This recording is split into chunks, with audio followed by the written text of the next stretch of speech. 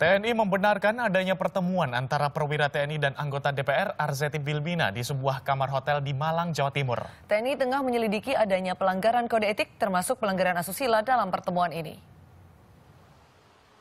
Hotel Arjuna Hotel kelas Melati di kawasan Lawang, Kabupaten Malang, Jawa Timur mendadak terkenal karena menjadi lokasi pertemuan antara anggota DPR, Arzeti Bilbina dan perwira TNI, Letkol Kavaleri Rizky Indrawijaya, dan Dim Sidoarjo.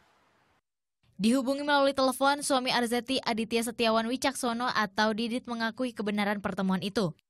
Pertemuan berlangsung minggu siang. Didit mengaku mengenal Letkol Rizky Indrawijaya. Didit juga membantah istrinya berselingkuh dengan sang letkol. Nggak ada apa-apa.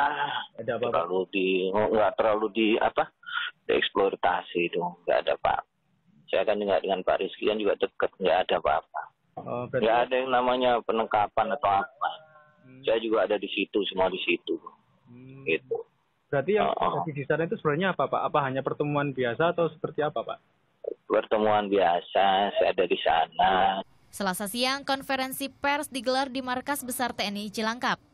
TNI membenarkan Divisi Propam Kostrat telah menggerebek sebuah kamar hotel dan menemukan Letkol Rizky Indrawijaya Tengah bersama Arzeti Bilbina. Dalam penyelesaian ini, kita tetap mengedepankan ajas praduga tak bersalah dan kita tetap akan tangani secara serius sampai tuntas.